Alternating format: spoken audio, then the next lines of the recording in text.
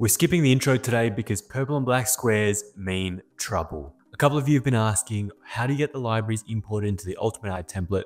So I thought I'd kill two birds with one stone, fixing library problems and upgrading to the Ultimate ArchiCAD library version 2. Today, we're doing it all on the Make My PC custom built desktop on the left here. This bad boy has served me extremely well over the past few months, and my hat goes off to the team at Make My PC. There's a link down in the description if you're looking to buy your own custom architectural PC.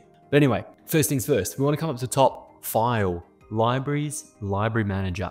And you'll see we've got a couple problems in our library. First of all, the first five are missing. And then secondly, the biggest questions I get on Patreon about the libraries not working properly is the library packs. So if this is your first time using the template, let's just go ahead and delete every library. Select them all, remove. The first thing you want to do is go to add. And in my Tomic library, you'll see T00 through to 05, but you also see the ArchiCAD lib packs. So by default, ArchiCAD comes with its own lib packs installed. To make sure everything works the way I've set it up, you have to use my lib packs. So double click on lib packs, select them all by clicking on the first one, holding shift, clicking on the last one, and then pressing open. ArchiCAD will do its thing by populating all of the lib packs. And then next we go add once again. We'll go back and select the six main folders. So DT00 materials, site elements, electrical, plumbing, mechanical, and furniture. In this update, the biggest thing we're talking about is furniture. There are so many new items added, which we'll get to. So we hit open, those six libraries are imported in and we simply click OK. Once you've downloaded the library, you may or may not get this corrupted error. Just disregard it. There's nothing corrupted. It's just a OneDrive, a Google Drive, or a cloud storage system issue. So if you've saved your libraries onto a cloud storage, you might get that. Just hit OK. And in a matter of seconds, our troubled purple and black squares all disappear because our textures are now relinked to the materials folder. What you'll notice straight away is we have a few items thrown in to our template model. We're talking specifically about living room, dining room, and office furniture in this major library update. I've trolled through thousands of pages of objects for specifically dedicated ArchiCAD library parts, and I found the best ones for you guys. So if we take a sneak peek out the side, you'll see there is a plethora of objects at the back. But as always, let's start with our ground floor plan and work through the categories. Now, I've left all of the new furniture elements in the 3D window and I haven't put them in the resources section just yet. Underneath 3D objects, I will include living, dining, and home office. When this template goes live, I just wanted to be able to show you everything in one collective series. So on the left hand side, we have all our dining tables, then our dining chairs, then our living room tables, our living room armchairs, our living room sofas, and of course our office furniture. Each one of these is a real item, you can purchase it if you so choose, but that's not the reason why I wanted to import custom furniture in ArchiCAD. First of all, all these items you see in front of you still aren't the absolute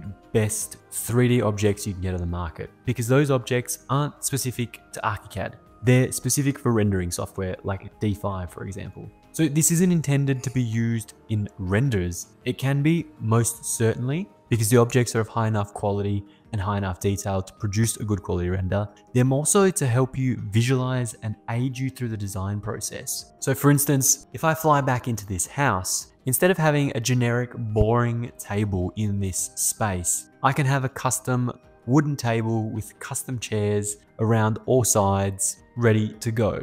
Now, for me personally, this helps me visualize my space really well. It helps me remember that chances are I'm not going to be able to match my cabinetry to my dining table.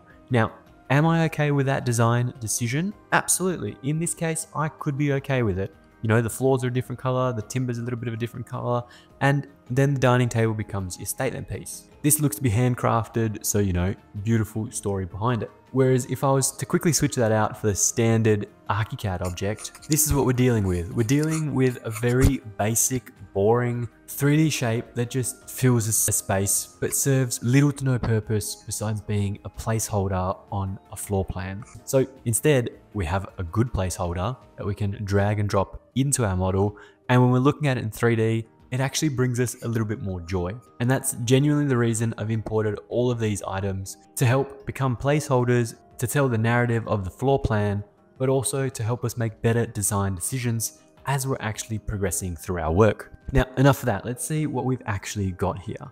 In front of me, there's a series of dining room tables. The first three are identical. If I open it up, you'll see we can change the size of the table and as well the three Munich wood colors available also. I've left them all as a standard Munich wood, so you can go ahead and change them if you need to.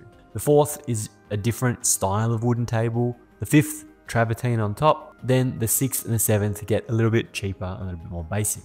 So for example, this one has very little options outside of changing the material itself. But most of these tables here will cover your standard dining room table sizes. So you won't have to think about what size is standard dining room table. You can click on this one, go, ah, two four by 1 meter, perfect. I know that's a dining table I can pick or I can get custom made. After that, we have a series of dining room chairs. Now, each one of these dining room chairs, including the two bar stools at the front, again, is relatively customizable. So let's take this one in the middle, for example, Command T, open it up. You'll see that the structure color can be changed from steel to chrome, and we have a plethora of different colors to choose from if we don't like that material. Now, all of these colors aren't built into the specific materials, they are specifically for these chairs because they're obviously real chairs. If we scroll across to the end, you can go product URL or link to manufacturer and see what that chair actually is. Irrespective, I picked a couple generic colors that relatively play in with most of the palettes that we designed to.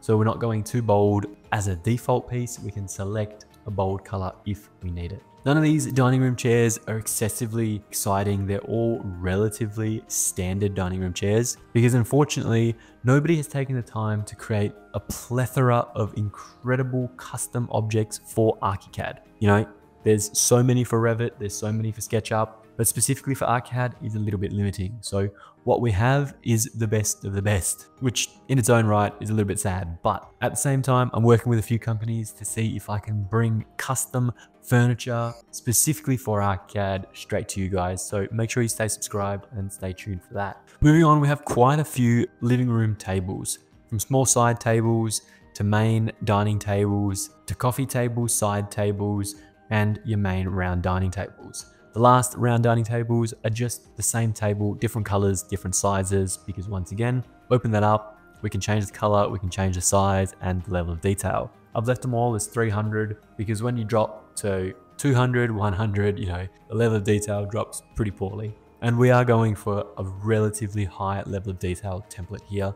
300 and above is the goal. Moving on, some of the armchairs are quite nice. So for example, this first armchair right off the bat is a statement piece itself. Then we move down a little bit more in quality and caliber until we get to the last one, which one that's again is of the higher caliber, a nice Hamptons or modern coastal style that can go in quite a lot of home designs. That single seater has a two seater pair at the back, which is quite editable as well. So for instance, you can have a side table in the middle if you wanted to for coffees, teas, you know, whatever. It's part of the actual model. For me personally, I don't think I'm going to use that too often, so I've left it off for the default model. Now, this is honestly where I hit the absolute worst furniture available for ArchiCAD on the market. These sofas are simply terrible. The best one is this maroon one at the very back, and even that is not the best. So I'm going to continue to work on this section here to try and find you better sofas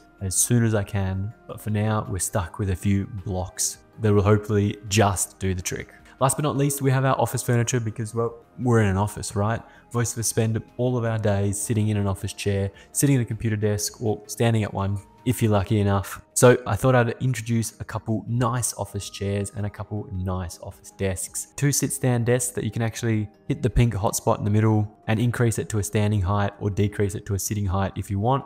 Same with the black one behind. And then one fixed desk and one fixed sit stand desk that you can't do anything with. But it is a little bit more relevant to most users because that's probably similar to what you'd get straight out of IKEA. With the office chairs, I've tried to select things that are going to be relevant to as many people as possible. I haven't gone for the Herman Millers or, you know, your $6,000 armchairs. I've picked relatively simple yet ergonomic chairs that most of us will use in our designs. A couple of them have the same material change options, so you can change chrome to polished aluminium or potentially even a black at the bottom, and then again, tons and tons of different fabric options. The one at the very end has additional options such as armchairs, adjustable, fixed, headrest, yes or no, upholstered, etc. So some of these have some great versatility options for you to choose from and utilize. And that's it. That's all for the major update for this month for the Ultimate ArchiCAD template. I've added a ton of hand selected and curated pieces of furniture for you to utilize in your own projects and of course throughout the ArchiCAD template series. But like I said, anyway, that is all for me today, team. Thank you so much for watching. I hope you enjoyed the video. If you did, make sure you smash that subscribe button. If you want a copy of the Ultimate ArchiCAD template, it's available through Patreon down in the description below.